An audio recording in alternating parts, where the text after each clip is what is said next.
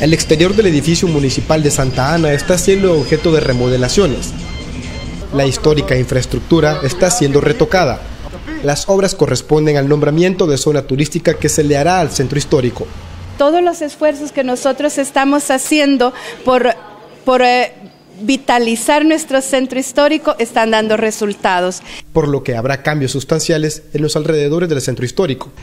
Parte de esos cambios son las intervenciones en la Estatua de la Libertad y el kiosco del parque. Ustedes ven, teníamos ya bastantes años de, de no ver tan bella nuestra, nuestra alcaldía, el parque, ya vieron que la Estatua de la Libertad se le, se le recuperó su antorcha, ¿verdad? Hemos recuperado y todo es un trabajo conjunto que estamos haciendo con la Secretaría de Cultura, Apaculsa, el teatro, con Martita, todos, todos los eh, personeros de la, del centro histórico hemos estado trabajando en este proyecto. Hasta el momento, la municipalidad ha invertido 8 mil dólares en mano de obra.